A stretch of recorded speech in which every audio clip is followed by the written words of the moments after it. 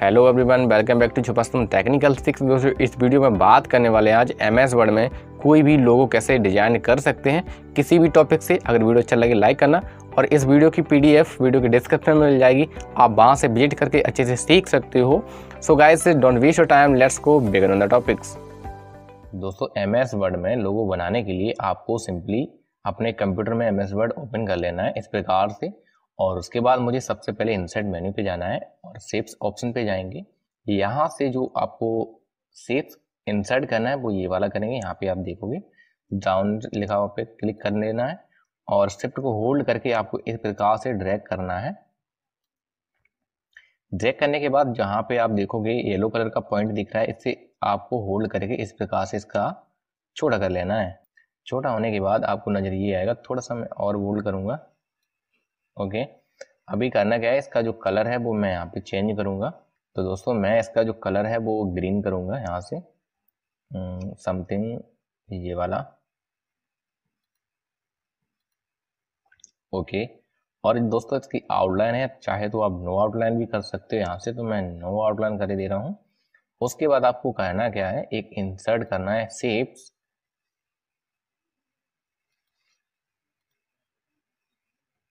और सेप्स को इंसर्ट कर लेते हैं यहाँ पे मैं। सेप्स पे जाऊँगा और यहाँ से ओवेल सेप्स लेंगे। यहाँ पे सेप्ट को ड्रैग कर होल्ड करके यहाँ पे ड्रैग कर लेना है इस प्रकार से। यहाँ पे अपने अनुसार आराम से सेट कर लीजिएगा इसको। इसी के ऊपर जस्ट लाना है और एरो की की सहायता से इसे साइड पे रख लेना है। करने के बाद इस पर आपको कहना क्या है। यहाँ पे जाना है सेंड टू बैक पे क्लिक कर देना है। जैसे सेंड टू बैक पे क्लिक करोगे तो ये बैक साइड पहुँच जाएगा। और इसका भी कलर मुझे यहाँ से चेंज कर देना है। इस प्रकार से। तो मैं समथिंग ये वाला फ्रेंड्स रखे दे रहा हूँ, उसका जो कलर है, ये वाला ओके इतना करने के बाद यहाँ से चाहो तो आप इसकी आउटलाइन को भी यहाँ से लगा सकते हो, जो भी अच्छी लगे। तो मैं सिंपली इसकी जो आउटलाइन है वो लगा देता हूँ।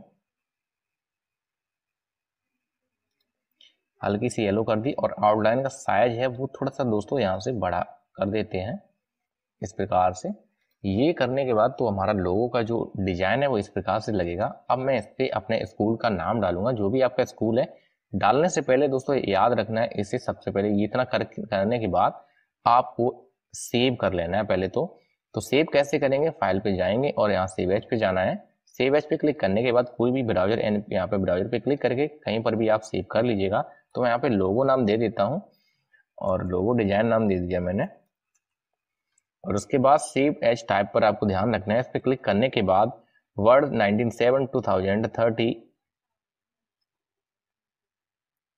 वर्ड 197 2003 डॉक्यूमेंट में यहाँ सेव करना है। तो यहाँ पे क्लिक करूँगा और उसके बाद यहाँ सेव पर क्लिक कर देंगे। तो सेव पर क्लिक करने के बाद ये पॉपअप आएगा। आपको यहाँ से कंटिन्यू कर देना है। कंटिन्यू करने के बाद आपको इंसर्ट पे आना है। इंसर्ट ऑप्शन पे आने के बाद आपको बर्ड पे क्लिक करना है। जैसे बर्ड पे क्लिक करोगे तो आपको यहाँ पर स्कूल का नाम पढ़ना है। तो यहाँ पे ये थर्ड नंबर का, जो स्टाइल है बर्ड आर्ट का, वो हम यहाँ पे क्लिक कर लेते हैं और यहाँ पर अपने स्कूल का आपको नाम डाल देना है। तो मैं सिंपली यहाँ पे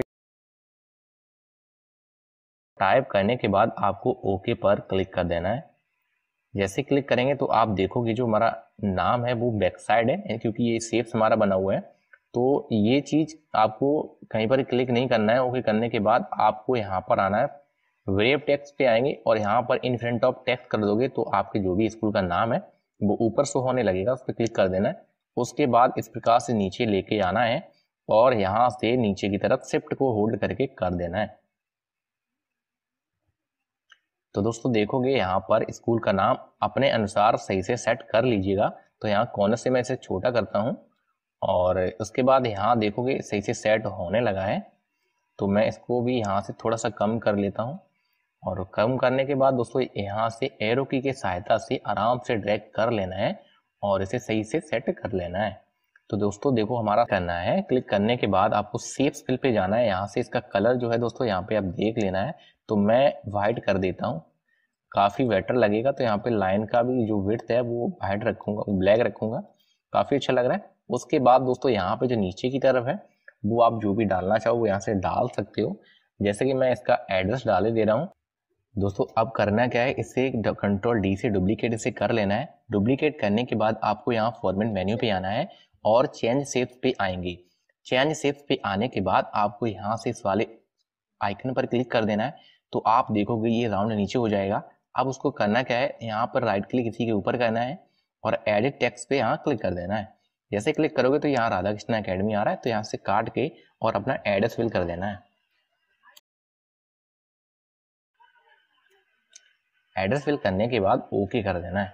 तो ओके करोगे तो यहाँ पे देखोगे आपके जो आइकन का साइज़ है वो तो काफ़ी लंबा हो गया है तो एडिट अगेन दोबारा करिएगा और यहाँ से इसका साइज़ है वो अराउंड समथिंग ट्वेंटी कर देंगे और ओके कर देंगे।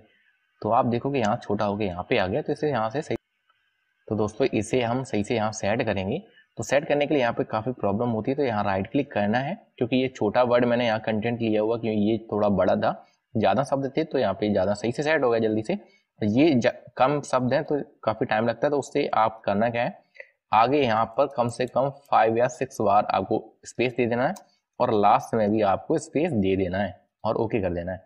तो आप देखोगे ये छोटा हो गया है। और उसके बाद इस प्रकार से राउंड कर लेना है और इधर की तरफ़ भी खिसका देना है।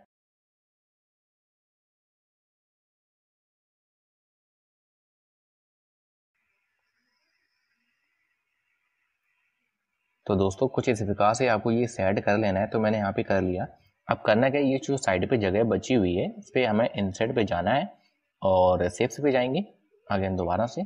उसके बाद यहाँ पर आपको एक स्टार लेना है इस प्रकार से और इसे थोड़ा जूम करके और यहाँ पर ड्रैग कर लेना है स्पेस करके।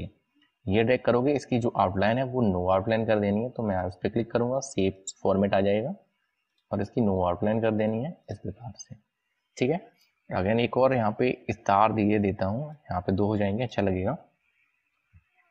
इतना करने के बाद इसी को मैं कॉपी करूँगा कंट्रोल को होल्ड करके इसे उठा लेंगे, इधर कर लेंगे।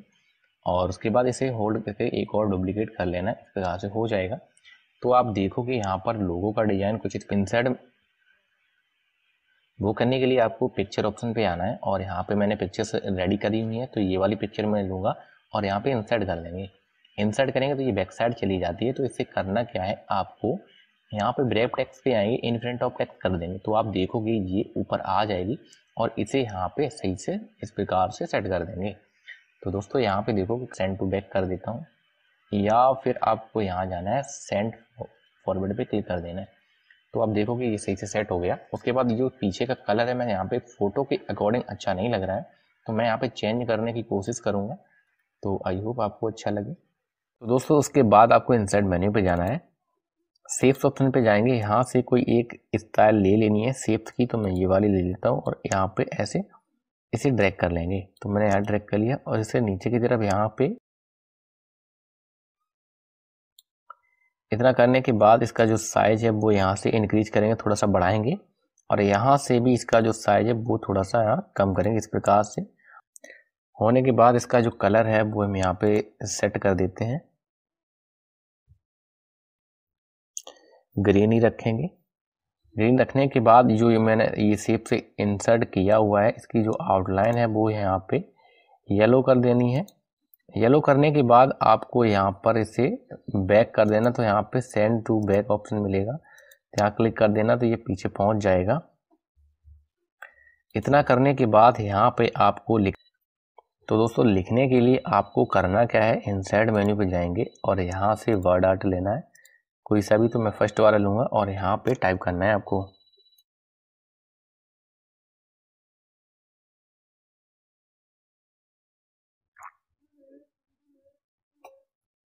तो दोस्तों मैंने यहाँ पर डाला एजुकेशन इज़ एन ऑर्नामेंट उसके बाद ओके पर क्लिक कर देंगे। ओके पे क्लिक करने के बाद आपको कुछ नहीं करना है सिंपली आपको ब्रेप टैक्स पे आना है और यहाँ पर इन फ्रंट ऑफ़ टैक्स कर देंगे। तो आप देखोगे टैक्स हमारा ऊपर आ जाएगा। उसके बाद इसका जो साइज़ है वो हम थोड़ा छोटा कर लेते हैं राइट क्लिक करेंगे, यहाँ पे एडिट टेक्स्ट पे अगेन दोबारा जाएँगे। तो उसके बाद यहाँ से इसका साइज़ है, थोड़ा सा छोटा कर लेते हैं ट्वेंटी अराउंड समथिंग ओके कर देंगे तो यहाँ छोटा हो जाएगा, उसके बाद इसे सही से यहाँ पे सेट कर लेना है। तो मैं यहाँ